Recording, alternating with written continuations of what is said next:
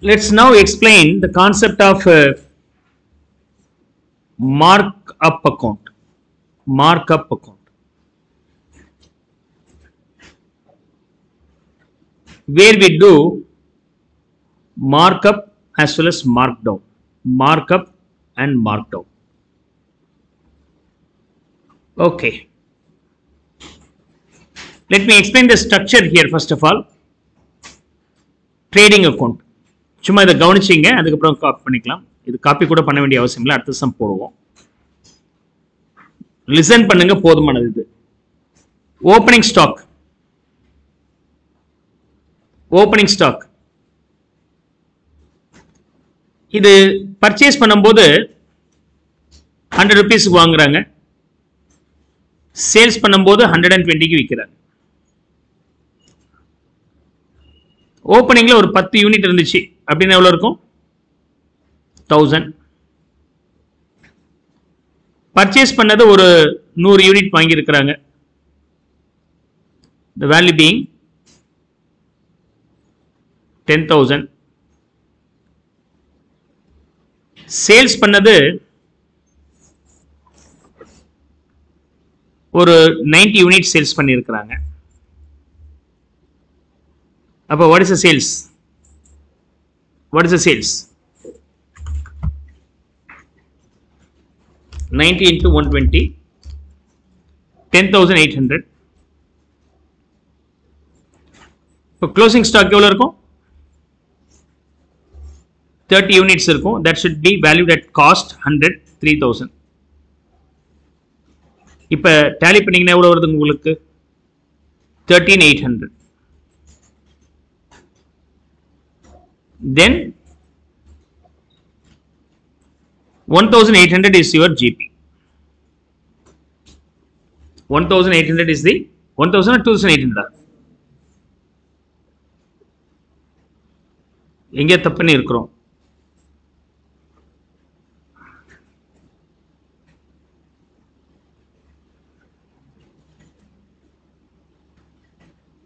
இது இருபது unit sorry thank you two thousand okay okay okay closing stock வந்து எத்தனை இருக்கும்? டுவெண்ட்டி யூனிட்ஸ் தானே. ஓப்பனிங்கில் பத்து பர்ச்சேஸ் நூறு தொண்ணூறு வித்தாச்சுன்னா இருபது இருக்கும் ரெண்டாயிரம். Okay twelve thousand eight hundred twelve thousand eight hundred so your GP being one thousand eight hundred அதாவது ஒரு யூனிட் இருபது ரூபாய் லாபம்னா தொண்ணூறு யூனிட் வித்துருந்தீங்கன்னா தொண்ணூறு இன்ட்டு இருபது தானே வந்திருக்கணும். ஸோ அதான் லாஜிக் இங்கே போட்டிருக்கிறேன். இஸ் தட் ஓகே இப்போ மார்க்அப் மார்க் டவுன் அக்கௌண்ட்னா என்ன? Okay will open stock account okay memorandum stock account அப்படின்னு ஒன்று ஓப்பன் பண்ணுவோம். Memorandum stock account and next one being memorandum markup account. Memorandum markup account. நீங்க கன்சைன்மெண்ட் படிச்சிருந்தால் அதுல இன்வாய்ஸ் பிரைஸ் மாடல் சொல்லி பார்ப்போம் இல்லையா? அதே லாஜிக் தான் இங்க.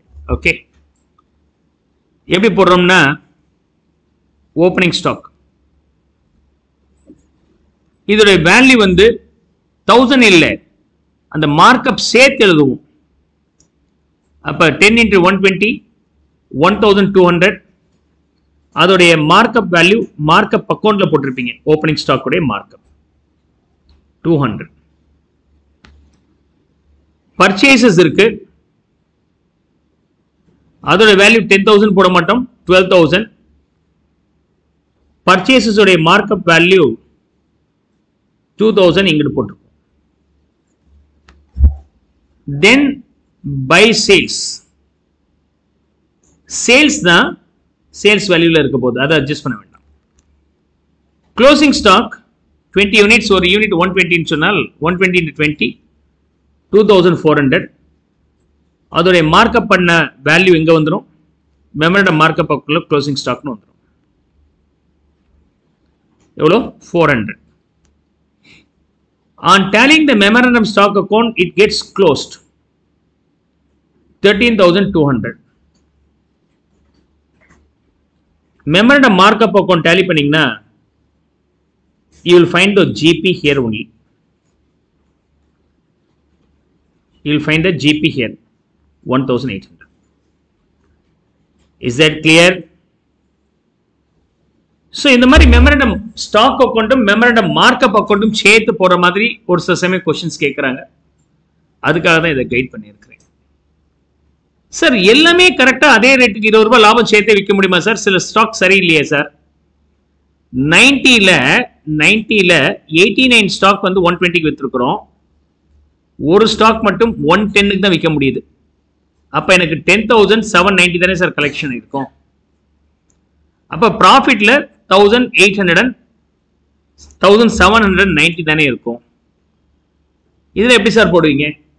நம்ம சொன்ன ரேட்டை கம்மியாக விற்கிறீங்கன்னா அந்த கம்மியாக இருக்கிற அந்த வேல்யூ பேர் மார்க் டவுன் அதுக்கு பேர் மார்க் டவுன் அதை நான் இங்கே போடுறேன். Mark down on any item எது நான் நார்மல் ரேட் விற்க முடியாதோ அதை மெமரண்டம் ஸ்டாக் அக்கௌண்ட்டில் கிரெடிட் சைடில் போடுறேன். மெமரண்டம் மார்க் அக்கௌண்ட் அக்கௌண்ட்டில் டெபிட் பண்ணிடுறேன். இங்கே மெமரண்டம் ஸ்டாக் அக்கௌண்ட் ப்ராக்கெட்டில் mark down mark down MD mark down இங்கே மார்க்அப் பிராக்கெட்ல மார்க் டவுன் அக்கௌண்ட் பேர் மார்க்அப் ஆனால் எரு குறைச்சது mark down is there okay வித்தாச்சுன்னா பெரிய ப்ராப்ளம் இல்லை. விற்காம இருந்துச்சுன்னா என்ன சார் பண்ணலாம்? விற்காமல் இருந்தால் அது ஆப்போசிட் சைடில் போடணும் இந்த ஸ்டாக்ல இருந்துச்சுன்னா ஆப்போசிட் சைடில் போடணும் if there is any unsold mark down செய்யப்பட்ட ஸ்டாக் விற்காமல் இருந்திருந்தால் அதை ஆப்போசிட் சைடில் போடணும். மார்க் டவுன் மார்க்கப் அக்கௌண்ட் இது எதுக்காக? இது நியூ ஐட்டம் பர்ச்சேஸ்ட் ஐட்டம்ல இருக்கிற மார்க் டவுன் இது க்ளோசிங் ஸ்டாக்ல ஏதாவது விற்காமல் இருக்கு அதோடைய மார்க் டவுன் வேல்யூ இருந்துச்சுன்னா அதை ரிவர்ஸ் பண்ணும் இங்கேயும் இங்கேயும். Memorandum stock mark down on what closing stock இப்போ அடுத்த வருஷம் போகும்போது அது ஓப்பனிங் ஸ்டாக்காக மாறிடும் இல்லையா? அது எங்க இருக்கும்? ஓப்பனிங் ஸ்டாக்கு ஆப்போசிட் சைடில் இருக்கும். Markup markup for opening stock அப்ப அது எங்க வந்திருக்கணும்? Memorandum stock ஓப்பனிங்குரிய mark down okay let see now memorandum memorandum stock account memorandum stock account and memorandum markup account markup account memorandum stock accountல two opening stock என்ன வேல்யூல இருக்கும் sale பிரைஸ்ல இருக்கும் அதுல நார்மல் ரேட்ல விற்க முடியாதுன்னா பை மார்க்அப் அக்கௌண்ட் அதாவது ஓப்பனிங் ஸ்டாக் உடைய மார்க் டவுன் பண்ணப்பட்ட ஐட்டம் பர்ச்சேஸ் பண்ணதுடைய சேல் வேல்யூ அத நார்மல் சேல்ஸ் வேல்யூல விற்க முடியாதுன்னா that value will be transferable to markup account for newly purchased item newly purchased item and finally sales closing stock இருக்கு. என்ன ரேட்ல இருக்கும்? சேல்ஸ் பிரைஸ் இந்த க்ளோசிங் ஸ்டாக் சேல்ஸ் பிரைஸ்ல ஏதோ ஒன்று விற்க முடியாது. இந்த ரேட்டுக்கு குறைச்சிருந்தால் அது ஆப்போசிட் சைடில் வரும். Mark up account for closing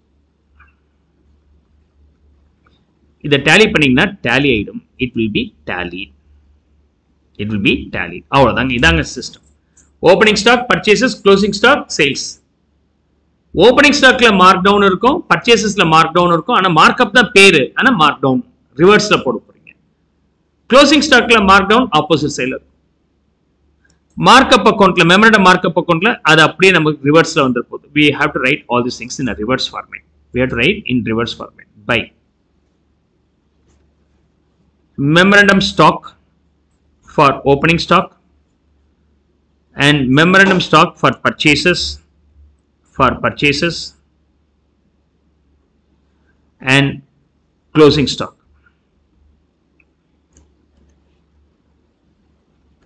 okay and two memorandum stock